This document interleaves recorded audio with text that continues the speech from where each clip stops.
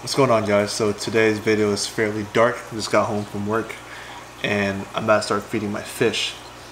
Uh, before I feed my fish, I like to keep the area around the tank fairly dim. No big lights, no bright lights, just so I don't scare the fish to not want to eat anything. And particularly today's mission is to feed the gar some different types of foods. So I went ahead and went to Petco and bought some crickets want to try to feed it different things, kind of offer it more variety when it comes to its diet.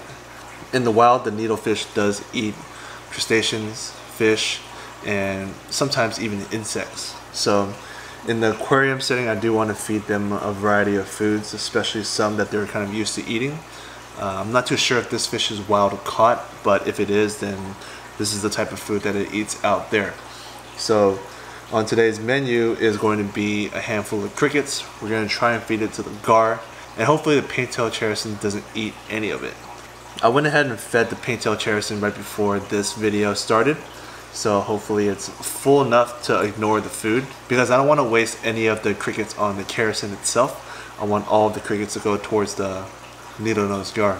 Uh, the reason why I don't really want my pink tail characin to eat the crickets is because uh, I know it eats anything and it'll pretty much try to eat anything. So I'm not that worried about the pink tail characin eating these crickets. Uh, more or less, this is for the gar itself. So let's go ahead and start this video off with a live feeding of crickets. And then we'll go ahead and talk about what type of plant I picked up for this aquarium right here. So for today, we went ahead and picked up six uh, small crickets for the needle-nosed gar. Uh, got from Petco and we're going to go ahead and put it into the aquarium right now. There isn't too much luck. The Pink Tail Chalceus eats probably about half of the crickets, even though he's full. Uh, there's no stopping this guy, he just eats whatever he can.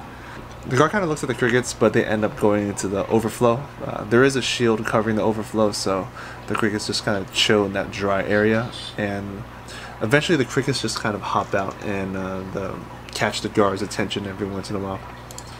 Uh, this goes on for a while now. I actually stopped recording because I thought he wasn't going to eat. So I kind of lost hope and went away. Here's some before footage of the gar before I left, and this is the after footage when I came back. As you can see, he has a pretty big lump in his stomach. And I'm just going to take a wild guess that he took about one or two crickets.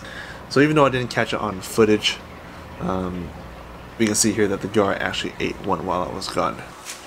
Oh yeah, so I almost forgot. I wanted to give you guys a little bit of an update on the geos or the Heckelii. They're doing fairly well. They're eating New Life Spectrum, they're eating uh, Cichlid Gold, and they're also eating um, some Hikari foods here and there. Basically, I'm just feeding them a good amount, maybe two or three times a day, just to get them to grow at a proper rate. And they should pick up some size fairly soon. Hopefully, I'll be able to put them in this tank uh, within the matter of a month or two and they'll join the Payara and hopefully grow out in this tank and be great dither fish for my Payara. So the plant we picked up today was an Amazon sword. Uh, I've had this plant in the past. Uh, didn't really need too much care for this plant to grow substantially big. So I'm going to go over how I'm going to put this plant into my aquarium, uh, taking this step by step, making it a lot easier. Maybe you might use this technique, uh, maybe not, but this is how I'm going to do it and I'll explain why later. The reason why I specifically chose this jar is to prevent my bichirs from derooting my plant or uprooting my plant, whatever you call it. Since the plant is raised to fairly high, um, the bichirs don't really have a chance to access the plant in general and um, therefore it won't have that risk of rooting up the plant before it actually uh, takes place. And basically the plant won't get disturbed from the bottom feeders. And I'm sure you noticed that I've had snails in this tank. Um, these are the types of pests that I don't mind. But this is another topic that I'll cover in another video.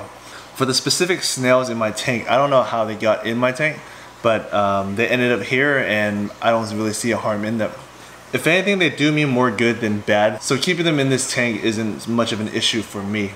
So yeah, that's just a little video of me getting the new Amazon sword and a little bonus video of me test feeding the crickets to the gar. Well, I hope you guys enjoyed this video. Stay tuned for the growth of this plant along with the growth of my fish. Thank you guys for watching. Peace guys.